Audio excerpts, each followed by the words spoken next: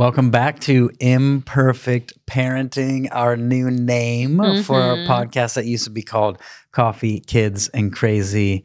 I'm Seth. I'm Brittney. And we also have And I'm Ben. Ben. I'm back. I'm staying. Ben is staying. I'm here now true. because Ben's Brittney wrote a book, and I just want to talk about it as much as possible. hmm And you're in it a lot. I'm I'm I'm probably the uh, star figure after her. You are. Yes. All the things Couldn't that have done Ben it helped me without you. learn. That's right. Yeah. So, but like always, this is our beginning of the month podcast. So we have Seth with us, which is Yep. always fun.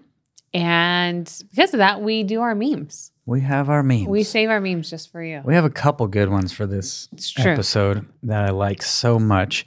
Today we're going to be talking about boundaries. That I need to give that much Yes. context for this. So this meme, if you're just listening, it is a child. It looks like a Starbucks bathroom. An old Starbucks. Technically, bathroom. it looks like a gas early station 2000s. bathroom. Yeah, that's what I was thinking. And uh, the kid is standing there with the door handle already pulled down, and it says, "When you've got two seconds to wipe before everyone in Starbucks sees you with your pants down." And the I'm kid's about got to open the door. He's got a smile face. like, "I'm about to open this." Yep. Which reason why we want good boundaries is because the next meme that we have, which is I never watched this movie, but I think it's the Dark Knight Batman movie. Uh, Joker. that's the Heath Joker. Ledger as the Joker. He's, it's Joker's face, and he's very intensely got his hands up and very irritated looking, and says, "You start setting boundaries, and everyone loses their minds." Yep. And that's, I think, what starts to happen. Which Very is fitting. Why They think you're a joker. that, or That was clever. Yeah, I know. You We're like back that? together. They think you're a joker. I think it's more why often parents uh, stop setting boundaries. Yeah. It's because everyone loses their mind. Yeah. This wasn't the agreement we made up. Well, they only lose their minds if you haven't been setting boundaries. Yeah. And typically, when you begin to set boundaries, you may not do it super well. And so they're not used to it. You're not used to it. They lose their minds. But if you have really young kids, it's good to do this now, practice now, set boundaries as young as possible so that people are used to it in your family. Mm-hmm. It- And no one loses their minds. And then part of the losing the mind is you set a boundary, they lose their mind. You're like, okay, well, let's not do this. I don't want to do this. We'll try again next year. Yeah. Yeah. So with that, we're gonna we're gonna poke the bear. That's what's mm-hmm. about to happen. Hear my heart, okay? Hear my heart. When we say this, Yeah. we're we're just picking a very hot topic right now. Mm-hmm. Very hot topic. Nobody get triggered, Yeah. okay? turn your unload your gun so when we push the trigger you don't shoot at us Yes. So we're going to talk about gentle parenting. Mm-hmm. Now, everything that I've read or I've seen or the heart behind it, the goal, I actually really like it. me too. I, I think the great. connection is the focus, uh, bringing empathy, understanding, healthy emotional awareness. a lot of it's very similar to stuff you say we say. Mm-hmm. Yep. it's very similar. A lot of it is. It's very popular right now. Um, the emotional intelligence i think is, is just really popular right now with um, the next wave of parents coming up. Yeah which technically ben and i are in the millennial age bracket i don't know if you are I'm not. you're not i'm a little older than You're you just We'll, a we'll leave it there. But Yeah. you're, you're wise. but the millennial generation He's pointing to his gray hairs. has Mm-hmm. they've jumped all over this Uh, i think a big part of it is because of their upbringing yeah that control, um, you know, get over it, uh, n- having low emotional intelligence, you know, from their upbringing, their parents. So because of all that, gentle parenting sounds amazing. Now we also have TikTok and Instagram and all these quick ways of getting these tools. yeah But what I have encountered personally, so this is my personal experience, love the concepts of gentle parenting. Don't have anything wrong with that. yeah What I'm seeing happen though is a lot of gentle parenting, connection, focus, let me know your emotional needs, and no boundaries.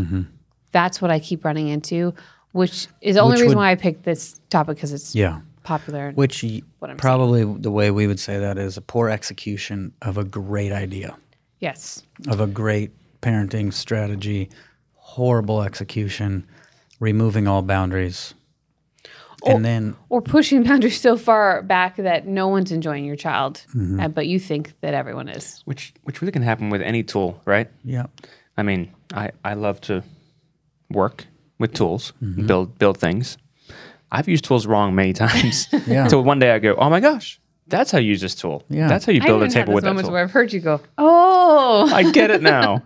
I took the time to understand and use it correctly, and it's a whole different outcome. Yeah. I think I think even even tools we talk about all the time that your dad's written about for years Yep. and and let us all in. yeah. The same tools that he's given away can, can be used poorly. Yep. So like, okay, gentle parenting, people take that and execute it that way, move the boundaries so far away. Like some mm-hmm. of the things I've seen with loving on purpose, mm-hmm. um, anything that we've talked about in the past is like, oh, a parent who wants to control their kids, wants obedience, instantaneous mm-hmm. obedience, joyful obedience, and joyful immediate obedience from kids will take the tools that we provide Yep.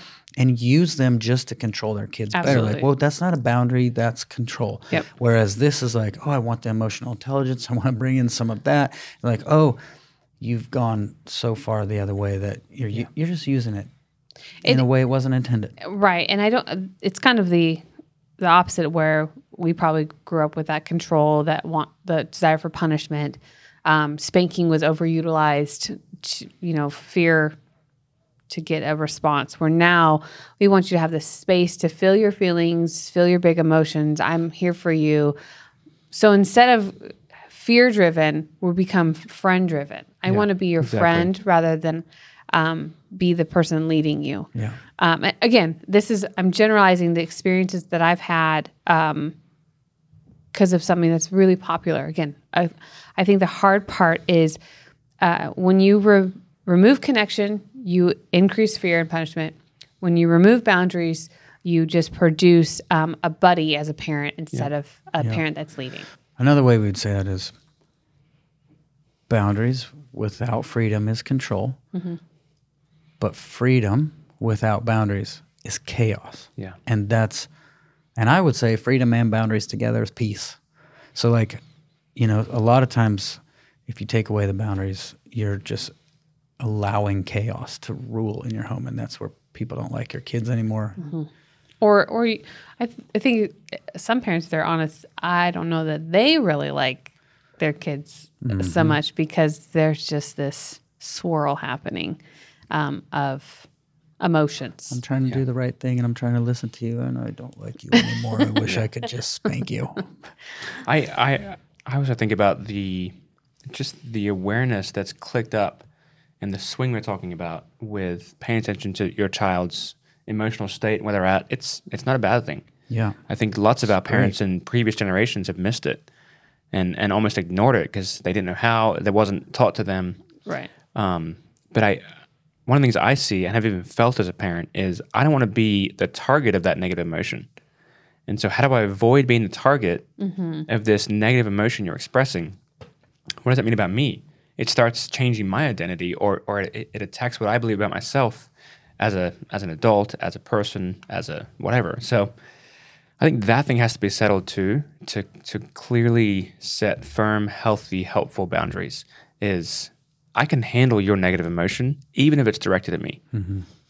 And I have a healthy boundary for you can have this negative emotion and I'll be here when you want to talk, but it doesn't mean I have to be violated Yes. Yeah. by your negative emotion. Well, that's, That's great. So take a fast rabbit trail, like the tool. Let's talk when your voice sounds like mine. To Mm-hmm. me, like I I play around with that a lot. Like if my kids aren't doing well, I'll go, "Hey, I know this is really hard. Mm-hmm. I know this is not fun. I know that was scary."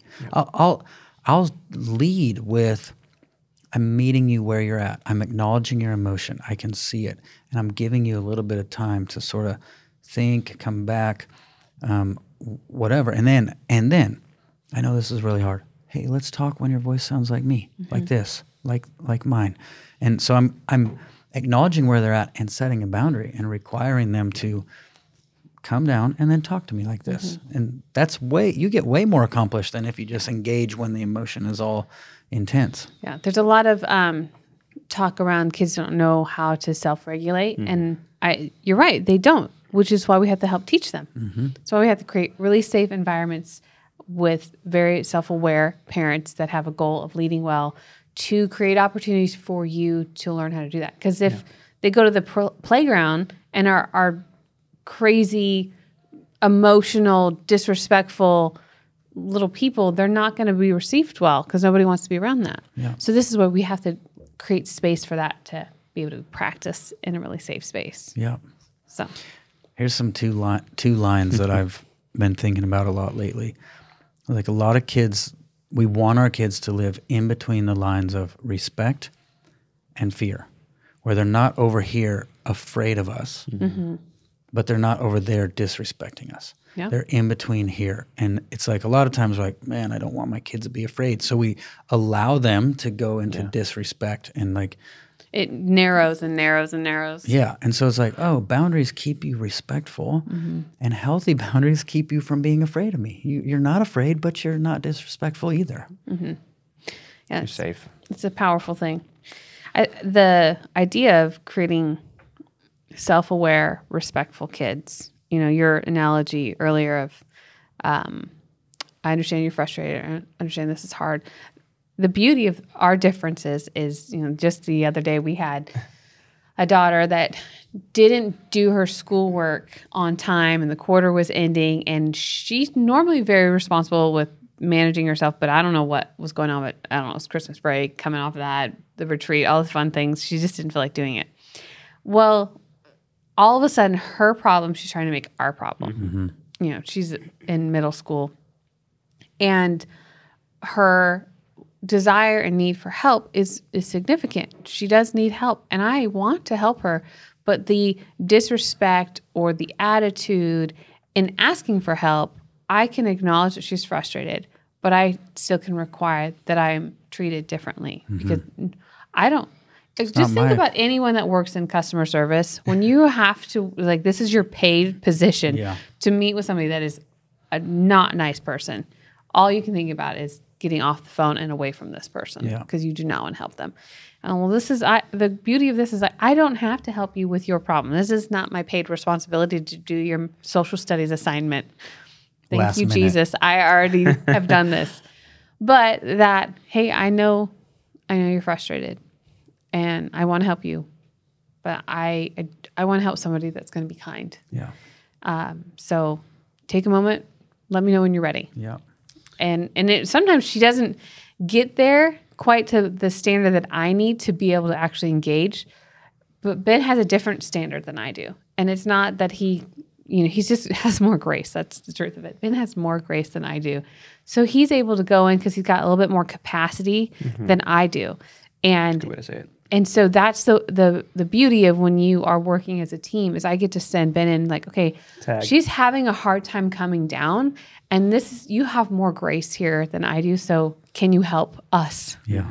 And that's what I I, love that. when we get to do that. We had a situation as well around the same time you're describing, um, but it was with Lincoln, where we've had a uh, there was a sighting of a certain animal, Oh yes, we had a mountain lion. mountain lion. I was gonna say bobcat. That was no, wrong. a mountain, mountain lion. come out. You know, that's Around to the, the house. to the farm. well somewhere in the neighborhood. Yes, probably close close to the farm. It's actually fairly close to our house. Yeah, you know, so we're we're we're just kind of just giving some helpful hints to the kids and tools, and just be aware when you go to the farm and stay together, whatever. But we have a little puppy too, and this little puppy loves to be outside, and then inside, then outside, then And she's inside. kind of clueless Yeah. yeah. to things. And Yeah. so Lincoln heard about this mountain lion. He's like, "Do not let the puppy outside after dark, because something bad's gonna happen." So he's been managing that, and well, I was I was in, in the backyard, and It was dark. it was dark. It was Yeah. dark. So the girls let the dog out. Now Lincoln, now, my son doesn't do this. I heard him from a, a ways away, wailing, in in like agony, I was in bed and I thought they were fighting Yeah. downstairs. Like, I'm like, what is going on? No, no. He's just super Because he's like, the dog's gone. Yeah. That's it. She's been eaten by a mountain lion. He's, he's already there. Yeah. And he's just at the top of his game in the worst way. And uh, so the girls are out there. The girls start giggling because they're just not sure what to do with what's happening. So I kind of make it down there and, okay, girls, stop laughing for a second. I help them understand what's happening and calm them down. And I was I was helping them gain some empathy because part of the story that listeners might be missing is we had a dog pass away Yeah. about six months ago. Right. So Lincoln's just got this. He's, He's ten years old. tender, He's still too. processing. Yeah. It's a really hard thing to process for a ten year old. So he's really scared. But I, I think the piece that was just listening to your fear and respecting is I told Lincoln, buddy, I, I need you to figure out what you're going to do with your fear. Mm-hmm. Girls, I need you to figure out how to find empathy and help your brother. Mm-hmm. Because I think even the, the regulation thing in siblings is important. Yeah. That we learn to help each other. Mm-hmm. It's not just mom and dad's job. As we get some tools, we, we get to give them away and keep each other accountable. Mm-hmm. That you don't get to treat me like that. Mm-hmm. You don't get to just go off because you felt like it. That the respect actually happens in a sibling relationship too. So Yeah. it's kind of a dramatic story. Um, the, the puppy's fine. Lincoln's fine. Yeah. Girls I are fine. the puppy. Uh, and you know, the reality is that you know there could be three mountain lions in a Yeah. ten mile radius and whatever. I think typically a mountain lion has a over a hundred mile radius Uh, well, I le- just to themselves. I learned this, and then the guy that the trapper that called me, he said, Lincoln did some. Uh, Lincoln, Brittney did some uh, pretty serious. "I didn't research. They called me because I was reporting, it. so I learned that they could be a lot Closer. more, okay. Okay. Because good the- to know. oh, at least in our area, because they're fighting for space. Unrelated to parenting, but there's random we- information about mountain lions for you. Did you didn't know you're going to be on a National Geographic show? Hey, Brittney here. Yes, you normally hear me on the Kylo Show, but I am interrupting to tell you about my book, Imperfect Parenting Connection Over Perfection, is coming out Mother's Day. So check that out. Before that, I've got a conference happening. I know, at the beginning of May. May's gonna be great. So if you wanna come to the conference with all of my friends, Seth Dahl, our Lauren and Jason Vallotton, Danny Silk, all these wonderful people are coming, make sure you go to imperfectparenting.co to find out the details, and hopefully, I see you there. But to come back, so Mm-hmm. Ben goes down Mountain Lion, freaking out. Lincoln, you're helping with all of that, and we were talking about gentle parenting originally. What do you call the type of parenting that we are talking about with boundaries, Good. with freedom, with empathy, respect, setting those boundaries? Hey, girls, I need you to help him. Here's what's going on. What do you call that? It's not gentle parenting. What are you calling it? I'm calling it engaged parenting. Uh, in my my book, I I kind of reference all the different styles, and we've talked about that before. Um, and I and I do give some examples of my personal experience with gentle parenting and and what I see is missing, and and what I'm hoping parents change. I love the pursuit of connection. I love the pursuit of self awareness and and even Foundation of it all. yeah and and and bringing awareness to the child making a space for their emotions i can handle those big feelings that you've got i'm not afraid of them but i'm not going to let them control our house so being an engaged parent is really that i know and i'm secure in what i'm supposed to be leading in Yeah. and i'm going to choose to engage and do that well Yeah.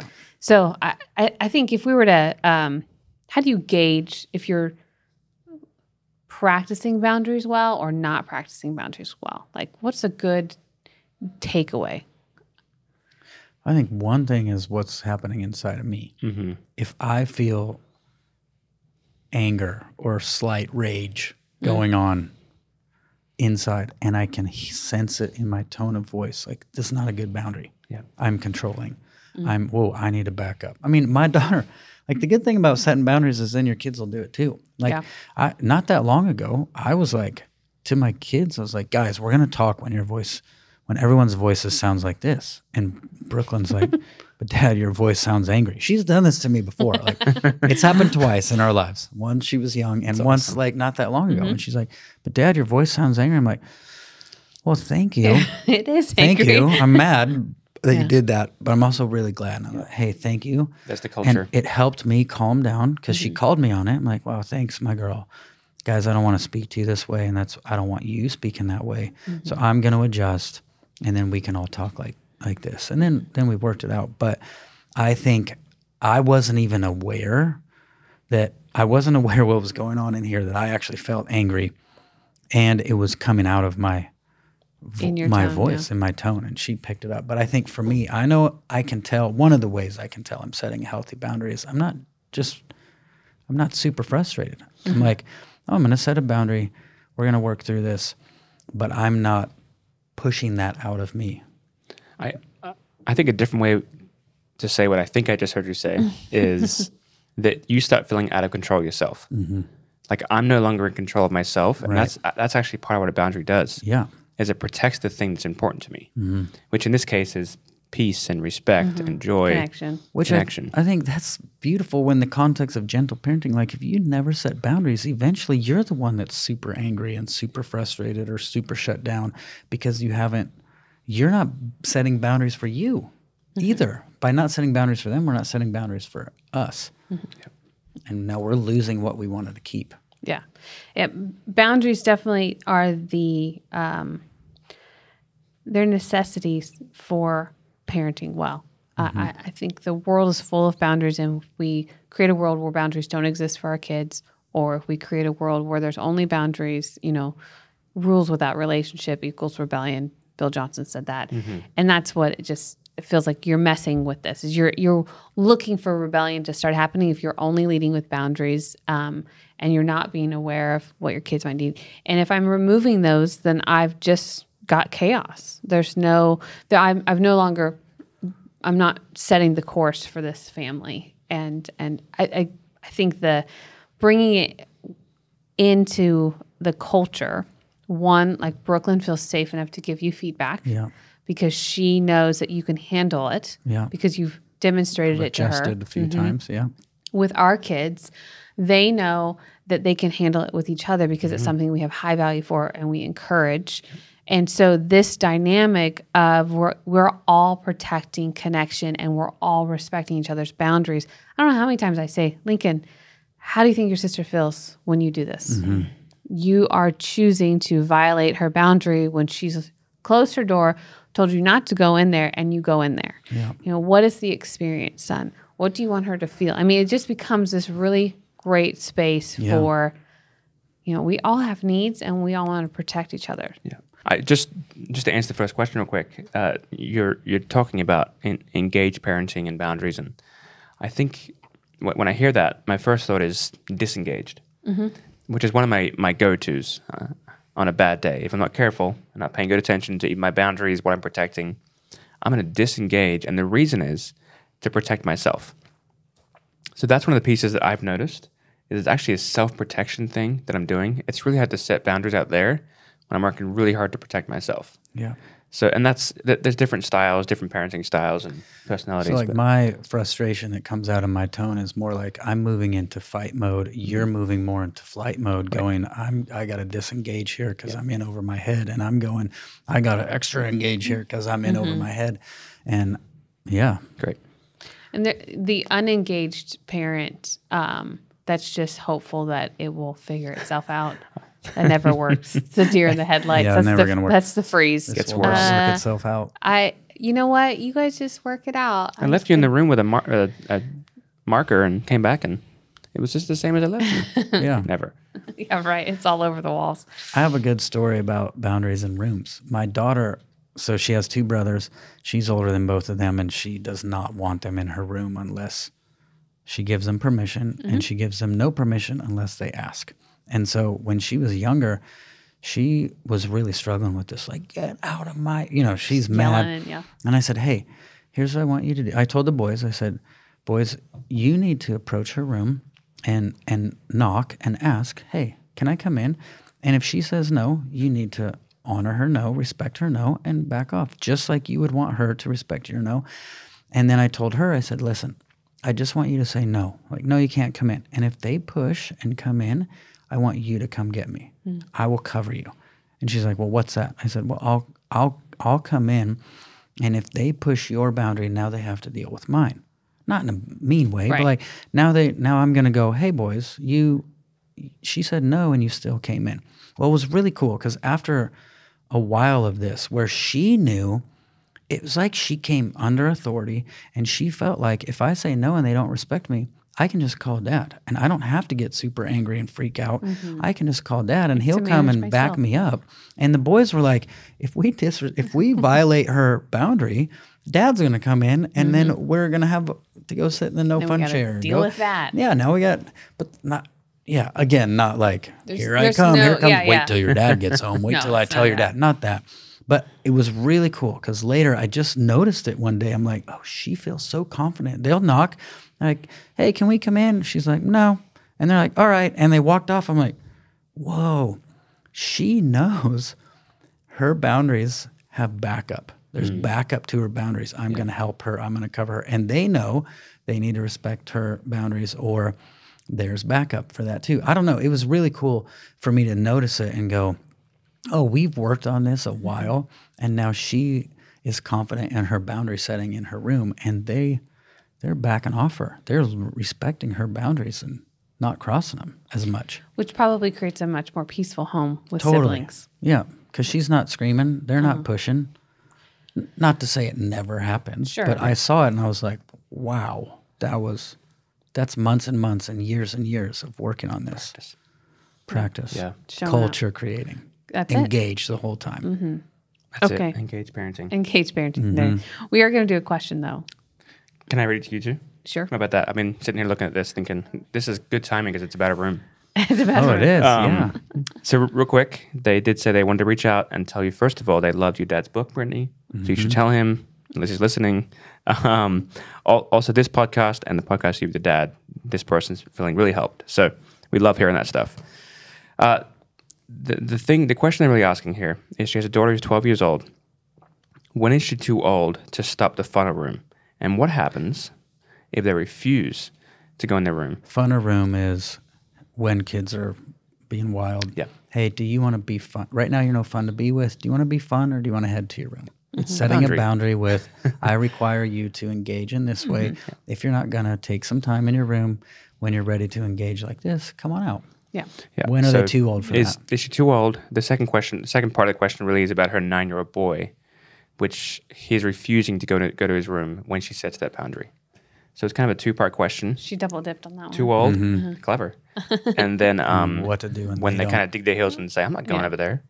It's great questions for this. Mm-hmm. These people are losing their minds when they get a boundary. They think you're a joker. Sorry. No, keep Back it to the up. meme. Back to the meme. I, I first think about, you know, I s- kind of stopped using Funner Room and I moved into more hassle time. I think that was when my kid was um, probably, they were probably like six, five, somewhere in there. It was less and less Yeah. funner, Funner room. room. It still happened, but it. Um, I mean, I did tell Adeline you wanted to be fun or go somewhere else. It wasn't her room, but it was you're no fun to be around. So I don't. I'm fine with you having this emotion, but I don't want you to be near me. Expressing it that way. Yeah, that I, you got to go somewhere else. And and if you choose not to, I'll be taking my ears somewhere else. Right. But if you're used to funner room and typically in that toddler set, you know, frame of mind and you're picking them up if they don't choose to go to their room, you want to walk, do you want me to carry you? There's lots of choices, right? That we give in all this. Um, I I think they should probably move on to hassle time. Um, and you just learned it's not the hassle, hassle timer, even though that's Hassle what you, timer. that's what you call it, which know. is great. You still keep it that. That's a but- product you should create. Hassle timer. I yeah. know. And hassle time is just really the exchange of time. So um, I think what might be happening with the 12 year old and even the nine year old is you're starting to engage in a power struggle, which is um, you're no fun to be around and you refuse to go to your room. And so now we're arguing over this. And, And the now it's really no fun. and now it's probably just intensifying, intensifying. Instead of disengaging from the power struggle, like that's step number one I think for parents is to learn to unplug the button and just not engage with the power struggle. Use the other tools that we have um, to set yourself up for success. To not take the bait. yeah. That's what I'm always saying. Is like don't take the bait of the power struggle. So like the kid, hey, fun or room. Nine year old's not being fun, fun or room. He's like, no, I'm not going. How would you do the hassle timer there? I say, oh, you're not going to go. I, I'd love for you to go somewhere else because you're no fun to be around. So mm. whether it's your room or outside, I don't care. Just Well, I'm not going. I'm staying right here and I'm going to cling around you and push your buttons even more. and I am, Here's Yeah, some more bait. now what, Here's some more Mom? bait. yeah. And I would say, hey, no problem. Don't worry about it. I'm going to start hassle time. And I go about doing whatever I was doing, unless they're physically being aggressive and I need help Yeah. um, and have to leave, they're probably just going to walk around and mope, pout, complain, whine, and your job is to manage yourself and keep track of the and, time. and keep track of the time. So let's say that carries on for 30 minutes before he decides he's bored of it and goes somewhere else. Um, I save that hassle time until there's a really great opportunity. Me too. When, at this age, you can save it because they understand. Mm-hmm. They can differentiate. They can have some space between what I did and my consequence for it. So you know, if it's four days later, five days later, that's you save it for when it's now a hassle for them. Yeah. Well, now it's no fun Mm-hmm. for them because they they owe time that they took, but because of their disrespect. Yeah. And so that for us, that looks like you know, I'd love to take you to the birthday party Mm-hmm. as soon as your hassle time's done. My son, two weeks ago, had 14 minutes of hassle time, and we went to um, go kart, mini golf, batting cages, rock climbing that's wall, lots of fun. video games, roller coaster. We were at this awesome, awesome place. And I said, Buddy, you got 14 minutes of hassle time. He says, I know. I said, Come here and grab a seat. Let's sit here for 14 minutes. I'm here with you. We're going to hang out. So he's sitting here with the parents talking. All the kids are climbing the walls and doing it. He's like, like, this is so great. You're, this is such a You're hassle for you. so Yeah. much that when I say I'm starting to feel hassled, it ha- carries weight, which is I don't I don't want to take your time by my disrespect. I'd rather Mm-hmm. manage myself because I'm not asking the impossible. We're not, you know. I need you to solve the world hunger problems. Yeah. You have 14 minutes. yeah, Yeah. it's literally a request for you to be respectful. Yeah. And it, and it really comes with the heart of I actually want to help you learn to manage yourself Mm-hmm. and in many ways. And right now it's starting with you're not doing a good job managing yourself. Here's some practice. Here's an opportunity. Yeah. And and understanding the impact you're having on people around you. It's such a such an important tool. Yep. Super good. I love that Ben and I get some follow up time to kind of dive deeper into some of these things Yeah. so we can help. But um, always love having you on. Yeah. Always love You're the being here. Yes. See you next month. Yeah. On Imperfect Parenting. Mm-hmm.